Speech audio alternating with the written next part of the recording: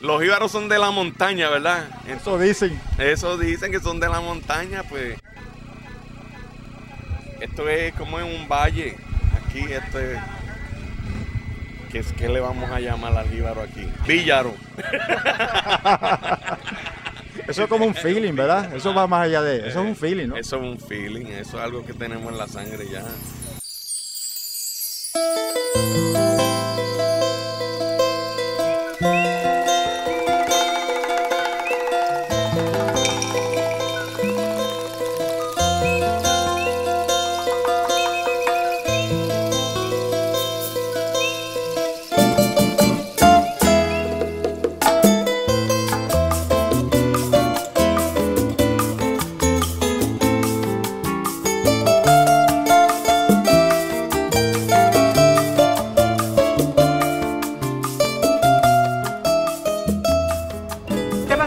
Tercer año de este programa.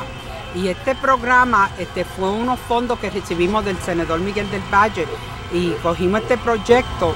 Y es un proyecto que, que, que, ha- que habla y enseña la cultura puertorriqueña. Y yo, y yo para mí de corazón yo veo que eso es una cosa importante y la iglesia debe ser parte de esto porque nosotros vemos que la juventud está, está perdiendo la cultura y, las iglesias y miembros de la iglesia yo para mí digo que deben ser también parte de la cultura puertorriqueña y por eso que San Lucas porque es una, una iglesia que empezó en una comunidad puertorriqueña porque todavía estamos en Humboldt Park, la comunidad está cambiando pero todavía están los puertorriqueños presentes aquí. So, ¿Qué mejor este, actividad o, o este, este, programa que hacer para enseñar la, la cultura puertorriqueña?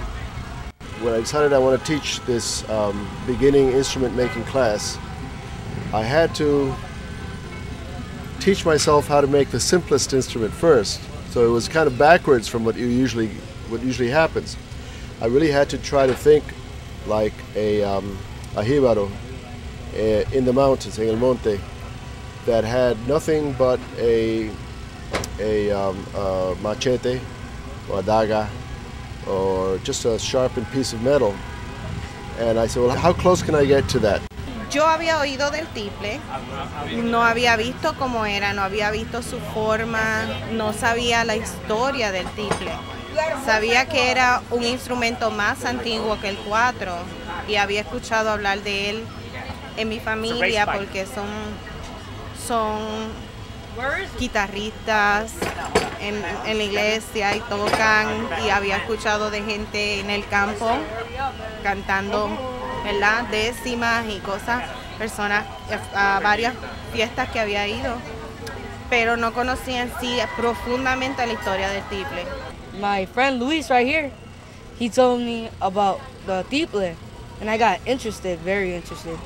And he said there there was a workshop where you could make them, and I said, oh. And I told him where, where can I sign up? He told me this place, and then that's that's how I got here. ¿Y cómo tú te embollaste con esto en principio? Vino Carlos Flores a la tienda en la escuela de, que tenemos de música, Music Express. Y yo soy el manager ahí. Eh, no soy un gran músico ni nada, pero son, antes he tocado trombón y conseguí a los hermanos Rivera y me involucraron en esto. Y tomé lecciones de cuatro. Entonces llegó Carlos Flores con la vaina de- del tiple y yo digo, bueno, este, eh, puedo entrar. ¿Eso es para jóvenes o para viejitos? No, yo no quiero muchachitos. Pues ahí yo me dije, ah, espérate, aquí estoy hecho yo ahora.